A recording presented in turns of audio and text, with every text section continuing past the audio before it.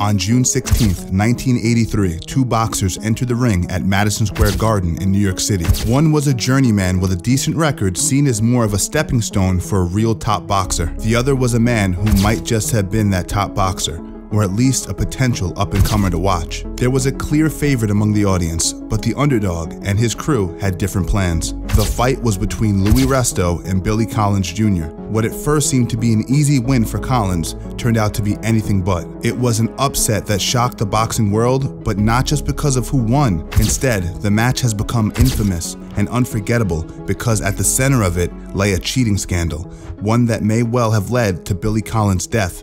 Who were the two fighters and what led to the match ending in such tragedy? Welcome to the Steven Strangles channel. If you enjoy documentaries like this one, consider leaving a like, subscribing, and turning on post notifications. We do videos like this every single week. Without further ado, let's get back into it.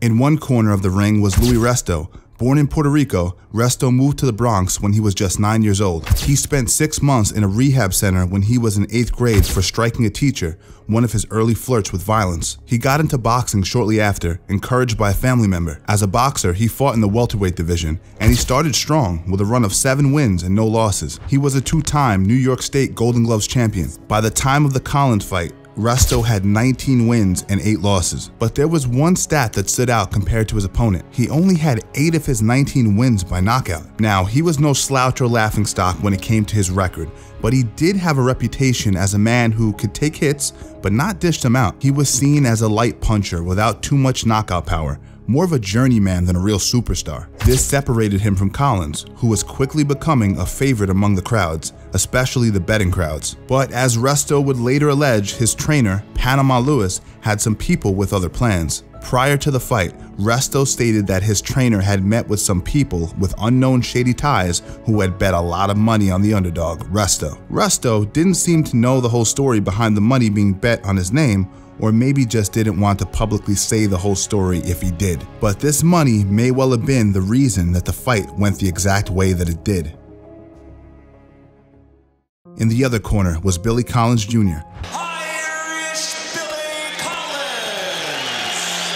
Collins Jr. seemed destined to be a boxer from birth. He was born to a working class family in Tennessee and was the son of a former welterweight pro boxer himself. His father had trained him in boxing since he was a child, always wanting Collins to follow in his footsteps. And for a while, it seemed that Collins was destined to be a fighter that any father could be proud of. He was a relative newcomer at the time of his match against Resto. Compared to Resto's record of 30 fights, Collins had just 14 fights under his belt. But there was a crucial difference between him and Resto. Not only was Collins on a 14 fight win streak since his debut, but he had also won 11 fights by knockout. With this being his first match on a stage this big, this was his opportunity to become one of the rising stars of American boxing. He saw it as his window to make his family some real money and rise above his own background to give his children a better life. And the betting for the upcoming fight between the two reflected the fact that Collins was seen as the better fighter by many. Collins was by far the favorite to win in the betting rounds,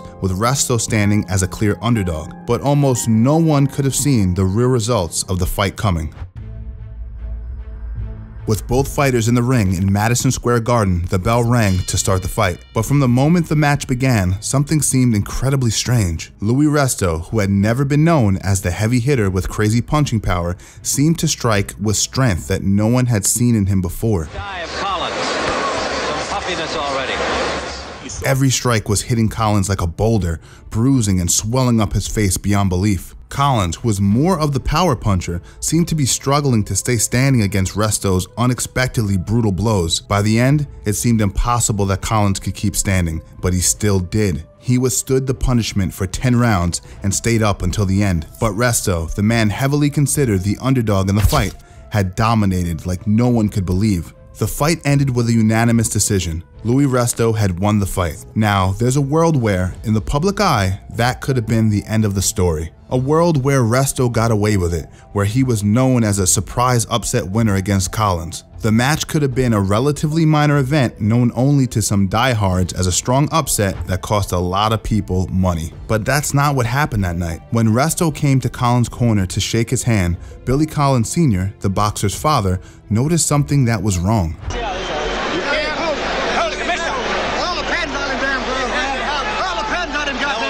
When he shook Resto's hand, he felt that the boxing glove was missing its padding. Immediately, he alerted the New York State Athletic Commission. The commission impounded the gloves and discovered that Collins Sr. was in fact correct. The gloves were missing their padding, giving Luis Resto the ability to hit hard and unfairly do massive damage to Collins. In the investigation that followed, Panama Lewis was the man singled out for orchestrating the assault. Preceding this scandal, in the early 80s, Panama Lewis was considered a great boxing trainer, but this reputation had come into question before. As it turned out, this wasn't Lewis's first controversy with cheating in pro boxing matches. In 1982, Aaron Pryor, one of Lewis's prized boxers and a light welterweight champion, fought against Nicaraguan boxer Alexis Arguello for the junior light welterweight title. During the fight, Lewis was caught yelling an order at the corner man. Give me that ball. The one I mix.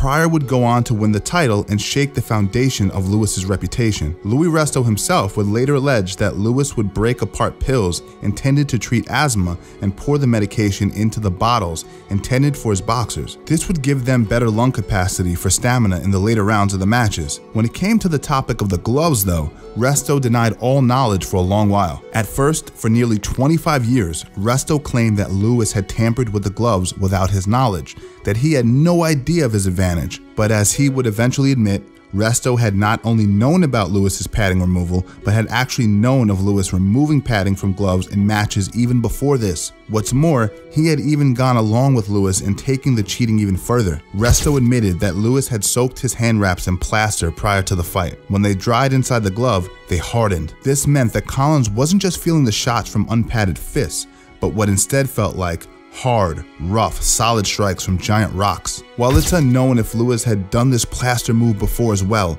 it is known that he sadly wouldn't be the last to do it. After the investigation, the fight was changed from a victory for Resto to a no contest. The match could have been the one that changed Billy Collins Jr.'s life for the better, but even though it didn't make him the up and coming boxer to watch, sadly, in a way, it did still change his life. Only it was for the worse. Because of the relentless strikes from the unpadded gloves and the plaster badges, Collins' face had been savagely brutalized. Immediately after the match, his entire face was heavily swollen, especially around his eyes. Luis Resto had spared no chance to dish out damage, had shown no mercy despite knowing about the unfair advantage that he had, and the result was irreparable damage to Collins. Billy Collins' iris was torn as a result of the fight, giving him permanently, incurably blurred vision. He could never box again. This unfortunate turn seemed to shatter Collins and ultimately ended in yet another tragedy. Collins took to drinking heavily after the rigged fight. The Collins family also attempted to sue Lewis, Resto, the boxing promoter, inspector, referee, and makers of the glove for the gross negligence and loss of income. But the courts ruled against the family. One night, after heavy drinking, he crashed his car near his home in Tennessee. He died in the crash. According to his family and various people close to him, the death may as well have been suicide.